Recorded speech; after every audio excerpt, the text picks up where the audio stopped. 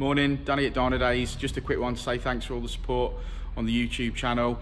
Uh, I'm going to be making more and more videos as we go, and hopefully, if you've got some suggestions or you have some videos that you'd like to see, then let me know. We'll get them done.